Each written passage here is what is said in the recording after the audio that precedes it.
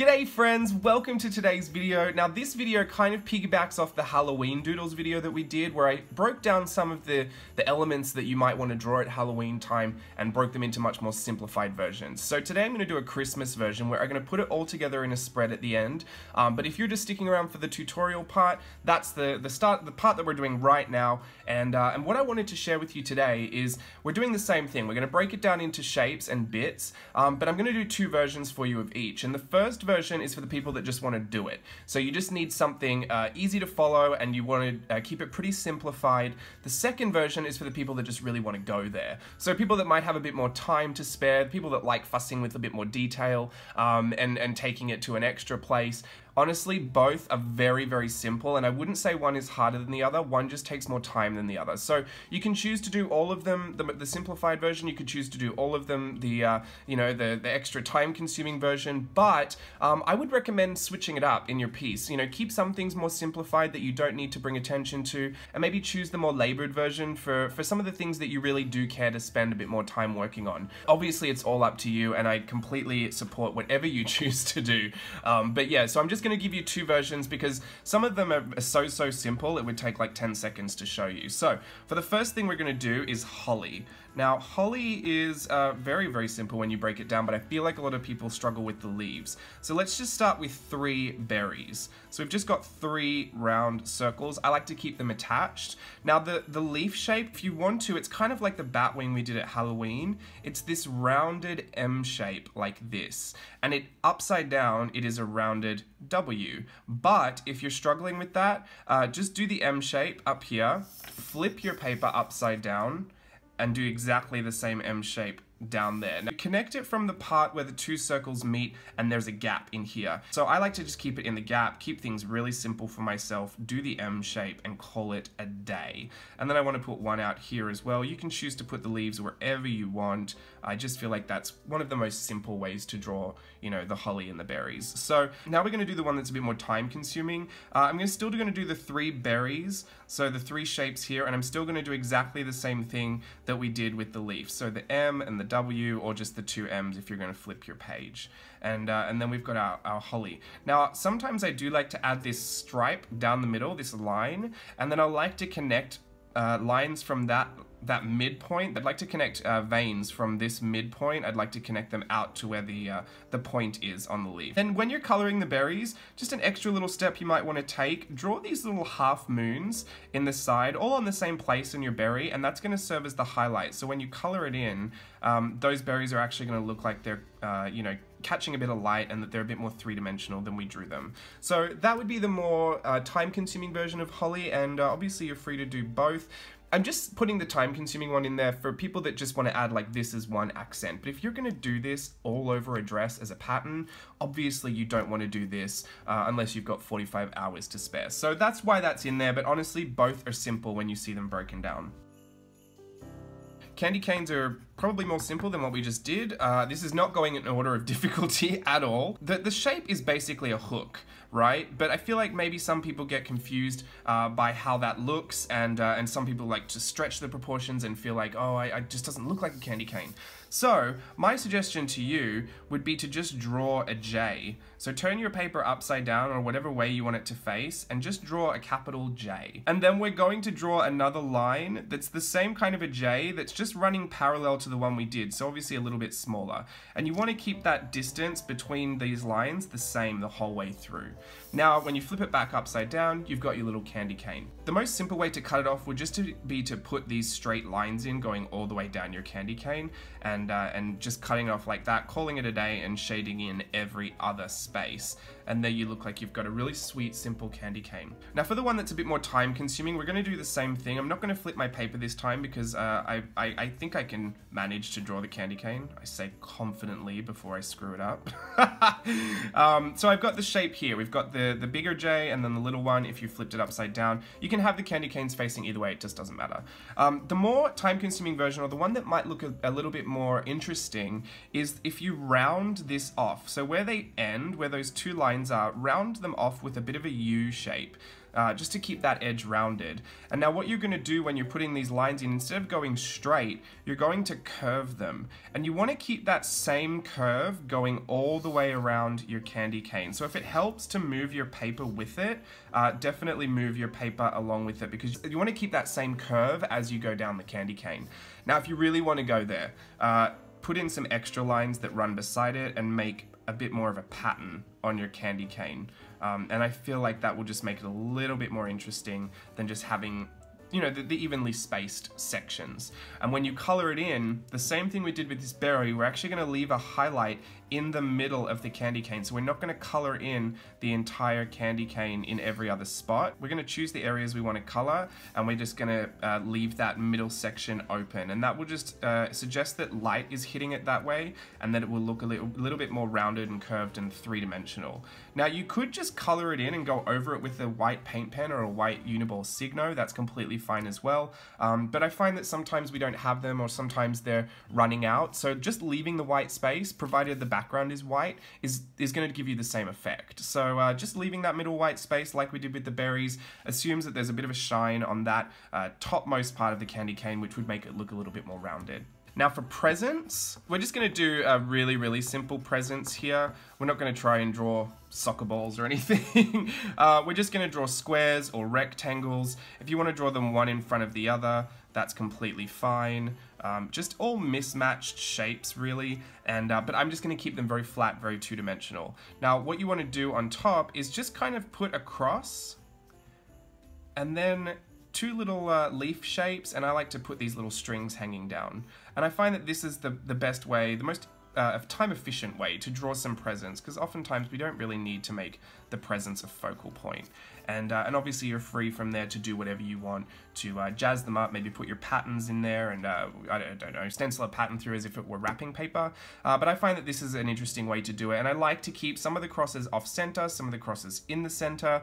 Uh, maybe one I wouldn't put a bow on there, but you could mix and match that up. You wanted to do a bit more of a time consuming present, we're going to do that trick that we I feel like we learned in primary school where you actually draw, you know, one box here and you draw another box uh, just off to the side.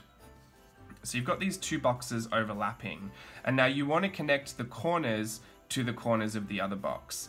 Now the one that we don't want to connect is this here because we're actually going to uh, we're going to pretend that this box isn't see-through for our present.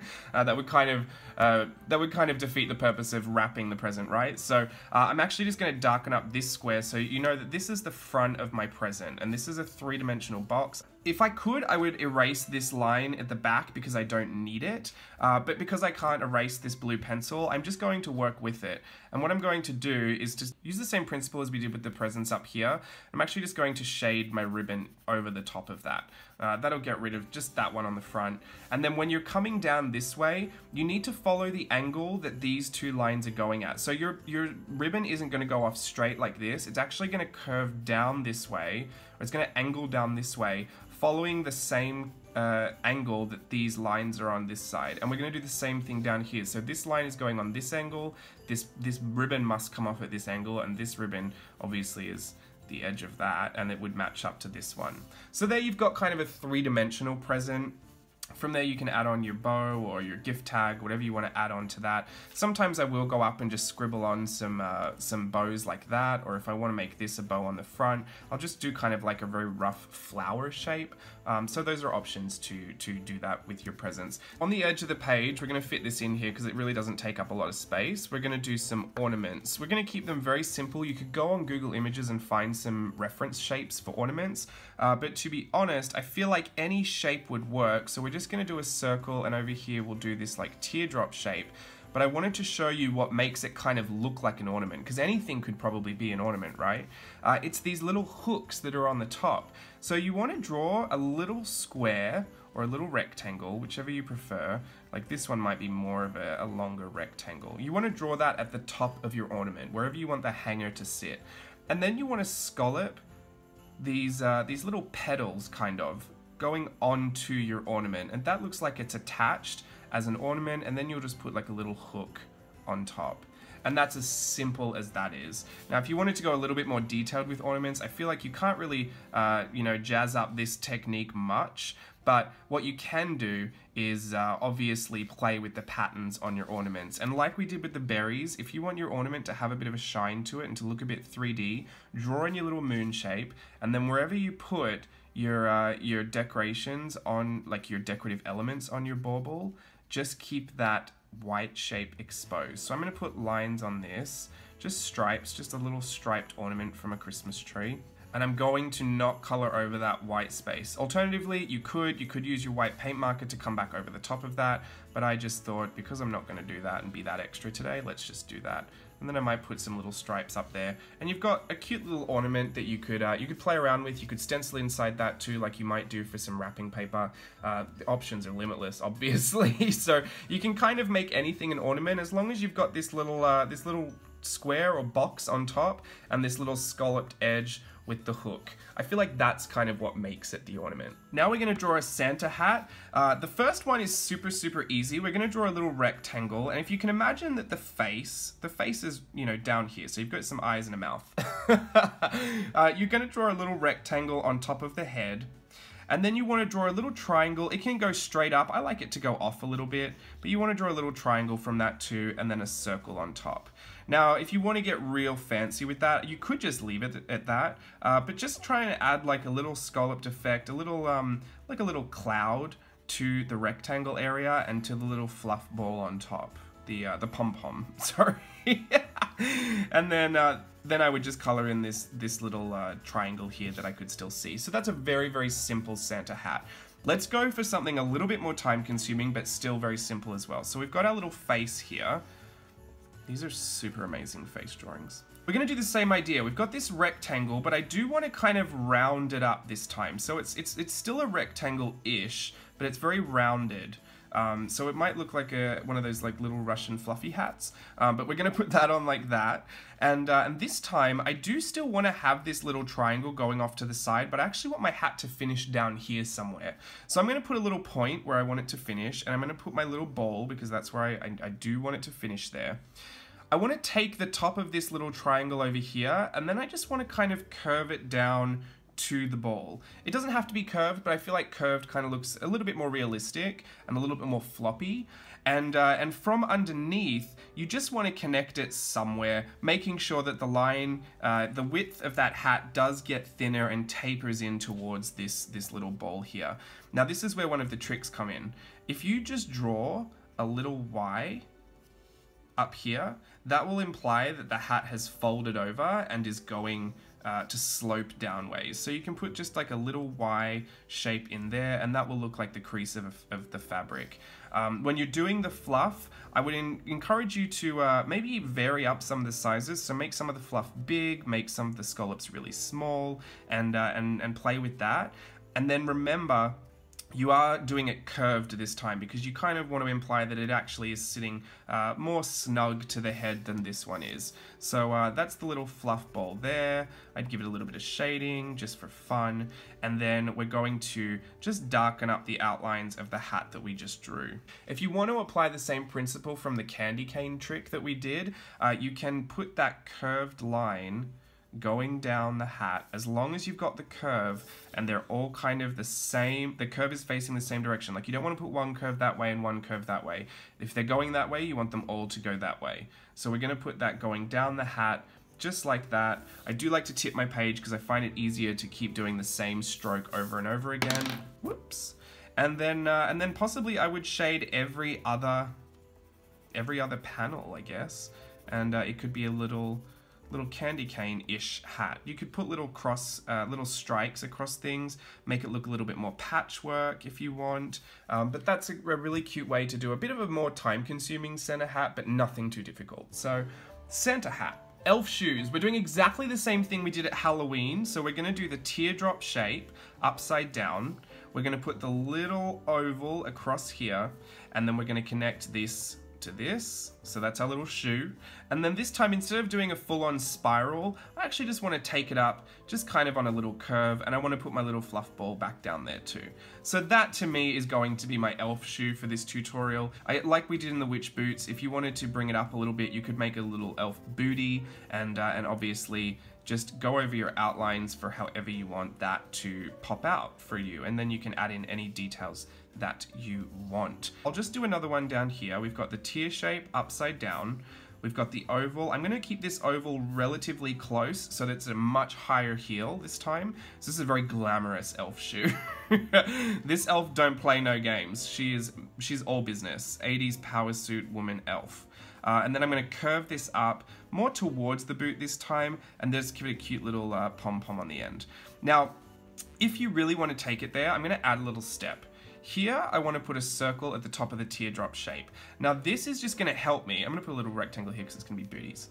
When I go to trace around the outside of this shoe, I do want to kind of bump it out a little bit where that circle is, and then come back down for the heel. Now I'm going to darken up this bit in here because I want it to be a really, really severe heel. I'm going to keep this a rounded circle and not so much a pom-pom this time. And then when I come back, I don't want to follow the circle this way. I actually just want to bring it down like we would normally do. So the only reason I would add that circle in is so that when you're tracing it, you could bump a little section out for the heel, just so that um, it kind of looks more like a foot is in there and not just some rectangular shape. oh, this one is one of my favorites. I love ribbons and I love bows. Obviously, I could do a bow like this and I could just do my ribbons as straight lines. I do that all the time. I love it. It's super simple and it's effective like that. It doesn't need to be more than that. So just two little quick oval shapes and then some strings down this way. Now, if you want to take this ribbon to a more interesting place, let's just make a line that goes down our page, kind of a curved line because ribbons are floating in the wind. Um, now, you want to draw a line, you want to start uh, kind of like the candy cane we did, you want to keep that width the same, but when you're going down, cross those lines, and then as soon as you come back out, remember to keep the width the same as you had it before, and then we're going to cross it down another time down here. And then I'm just going to put like a little V shape to cut that off. Uh, so that it looks like a ribbon. And then it looks, it literally looks like a ribbon that's folding and twisting in the wind. So I really like that for ribbons. I'll show you what happens if you don't. Um, if, if you go down too straight, you're obviously not going to be able to get much of a cross going on. Uh, it, it, it just kind of looks like a ribbon is, is falling. This is kind of looking like a ribbon's kind of blowing in the breeze. If you go down too curvy, um, it's going to be fine, but you're going to have a lot of twists and bends, and uh, it, you could get a little confused and maybe uh, stuff yourself up a little bit. Um, I do just like a soft curve like this, but also if you're going down, if you're following it and you jut across to make the same kind of a, uh, a line on this side and you end up with this very harsh uh, crossing point, that's not going to look very realistic either. So just remember, um, give it a practice a couple of times. It honestly doesn't take much. You just want to kind of flow with it and that's going to give you the most uh, fluid, kind of soft, loose effect. If you start laboring on it too much and getting really, really specific, it might look a little bit too angular, and then it would look like uh, maybe stiff ribbon, uh, and this is more of a satin ribbon. I'm saying anyway. Alright, I flipped it over, and we're going to do gingerbread men. For a gingerbread man, you just want to draw a little stick figure. So we're going to draw it down like this. I've got a circle, I've got a line coming off down for his body, I've got two legs coming down in like a V shape, and then I've just got two little arms coming out here. Now, the trick to making it a gingerbread man is actually following around the lines that you drew and curving everything. So keeping it very, uh, very chubby and curvy and uh, you know, nothing too, you don't really want any straight lines on this because it probably wouldn't bake that way, uh, but that's the gingerbread man shape. I find it easier to start with the stick figure because I, I just, I, for some reason I can't draw this shape very well. I start to uh, slim it down, it just doesn't even look like a gingerbread cookie in the end. So I would just say that's your basic gingerbread man and you could just put a little bit of a face on him. If you wanted to actually go a little bit gingerbread, I'm going to put it in very lightly, my, my guidelines this time. So I've got the head, I've got the stick body, and the two arms. I'm going to go around that to make my gingerbread, remembering to keep everything very, very curved. I like to just put a little uh, squiggly border around the entire thing. That just makes it look like my gingerbread man has icing on it and you could make this part white or you could make his body white, whatever you want, but I just like to imply that there's icing on it. I'm just going to put two little circles for his eyes here and I'm to draw little C shapes in there. I'm to put a little nose on and then I do like to draw the mouth like a smiley mouth, but then I like to outline it like a clown. I don't know why. But I, I, think that looks a little cuter than just having the smiley mouth. And then I put some little gumdrop buttons on him here. Now you could dress it any way you like, and you could obviously color it any way you like. You can put lashes on, why not?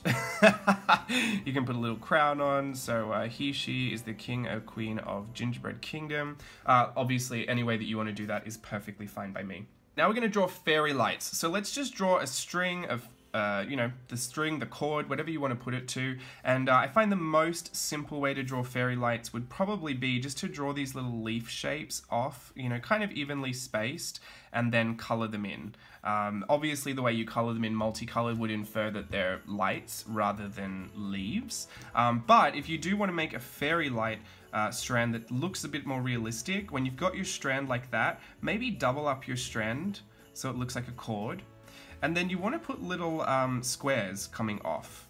So these are going to be like the, the little plugs that your lights fit into. And then draw your teardrop shape from that. And that would probably look a bit more like uh, Christmas lights. Now we didn't have these kind of a shape Christmas lights at home, um, so it's it's interesting, but I actually love them because they remind me of the Grinch. So we've just got a teardrop shape here or an almond shape, and then we're just going to put the square covering the bottom of it. And then if you want to color it in, make sure that you leave some of this white space again and, uh, and possibly uh, come back in with your paint marker if you color over some of that uh, or you just don't want to leave it in the first place. You can just come over with a white paint marker and then I'm going to color this in a little bit darker uh, to show that that's not part of the light.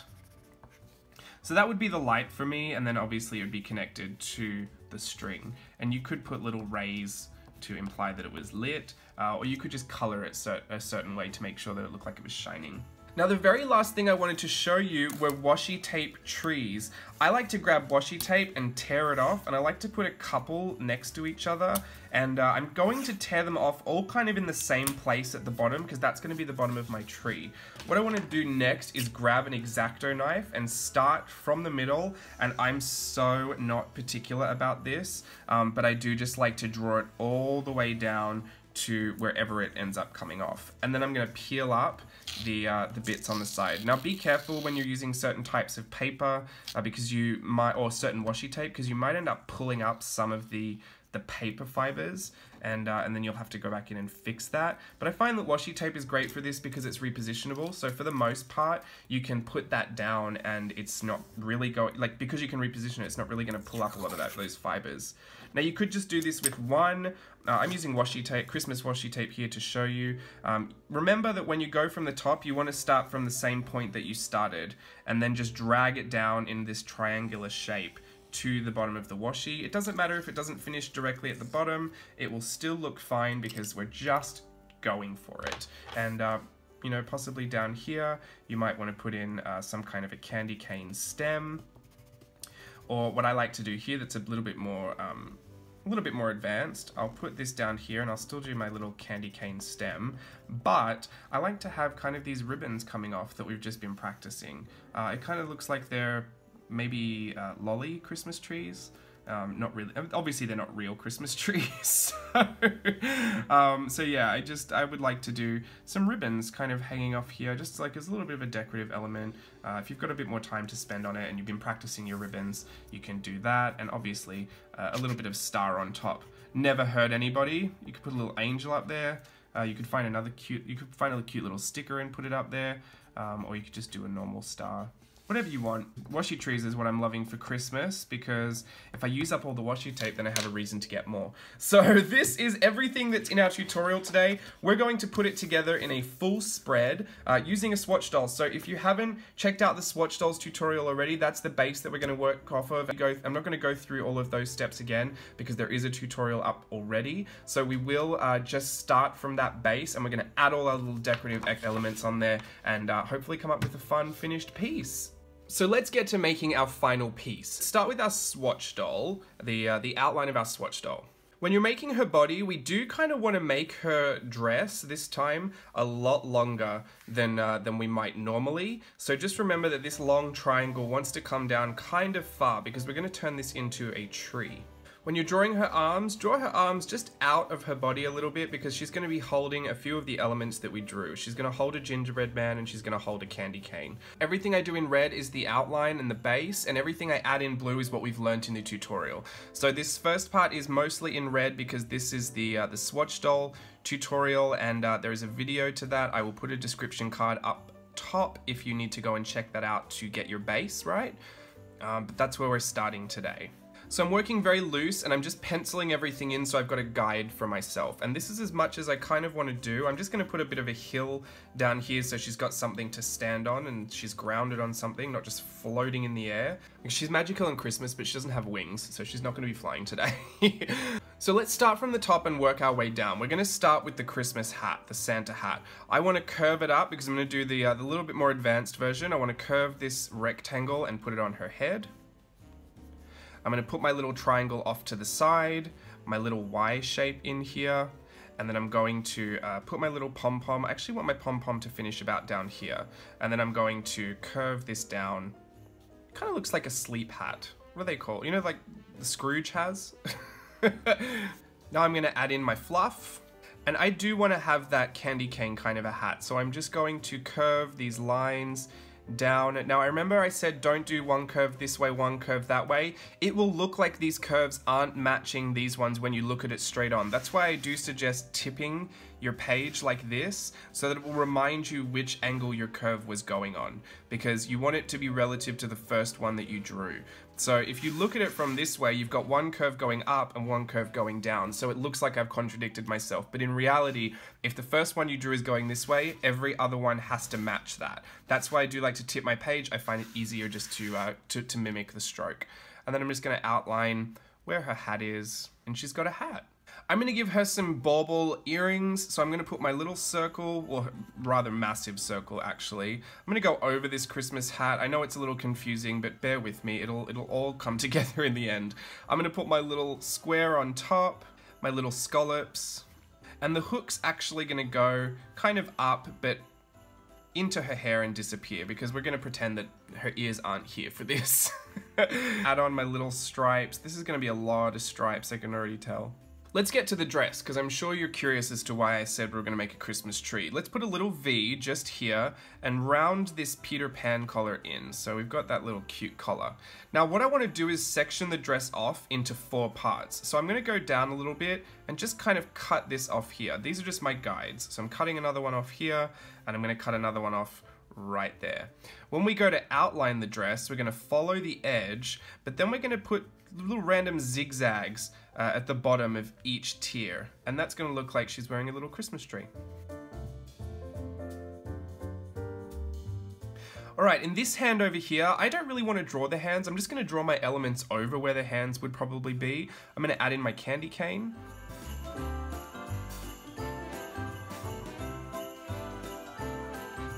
And in this hand over here, I'm going to add in my little gingerbread man. Now I drew that way too small and my pencil wasn't sharp enough, so we're just gonna have to pretend that that blur looks like a gingerbread man. Let's draw her little booties.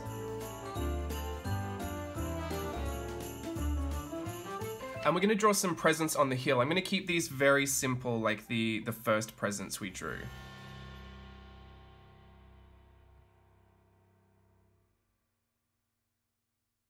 Let's add in some washi tape trees. I'm just gonna put a few random trees, nowhere in particular, just around her.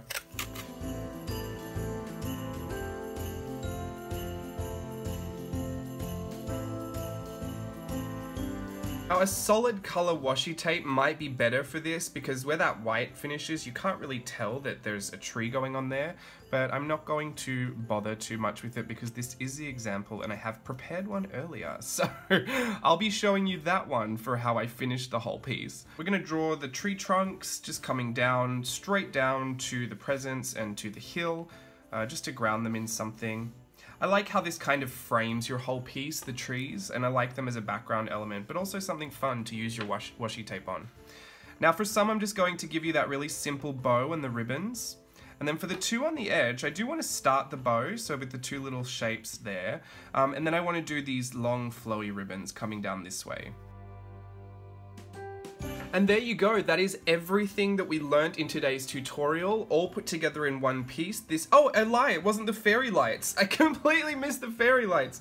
Uh, I'm gonna sharpen my pencil and put those in. I cannot believe I missed those, I love fairy lights. Uh, we're going to put our strands, we're gonna start at this top here, and we're gonna round this off. Now you want it to kind of, uh, kind of circle in back around the body, and then because we're going down to the right this way, we're gonna go down to the left this way and then we're going to go back down to the right this way. We're just going to alternate that strand coming down her body, and then we're just going to put our little squares on there with our little almond shapes. If it looks like there's a lot going on in this, that's because there is.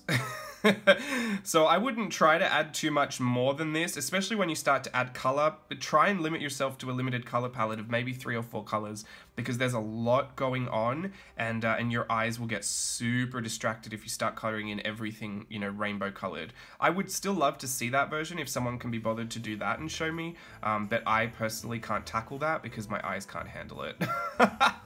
and I can normally handle a lot, but there's just, there's a ton going on in this spread, so um, I'm just gonna leave it at this and show you my example. And here is one I prepared earlier. So, I've, uh, I've had this up on my Instagram, so I think a few of you have seen it. It is, uh, it's, it was done with a watercolor background. I've uh, pulled a lot of this out with pencil and watercolor. I've used these uh, gold accented washi tapes to uh, really punch out some of those features. You can see I've got the ribbons in here, I've got the candy cane. If one of your trees does cross over, like say your body or your hand, oh I didn't even take out her hand.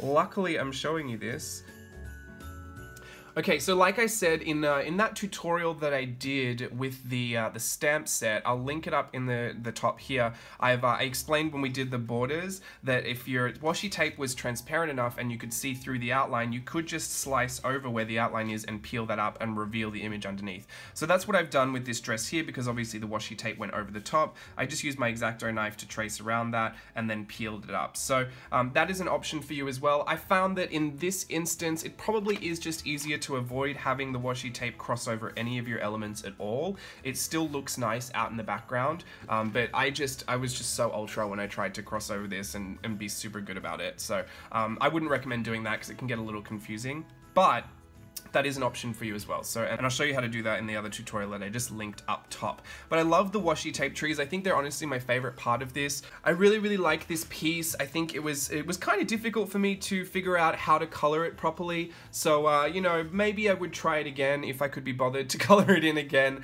Um, but I'm more excited to see what you guys are going to do with it and the examples that you're going to come up with. So uh, make sure you tag me on Instagram. Make sure you put it in the Burkemates Creative Outlet Facebook group so I can see it and, uh, and just share in all your Christmas spirit. I can't wait to see what washi tape you've been hoarding and uh, just how many forests you can make.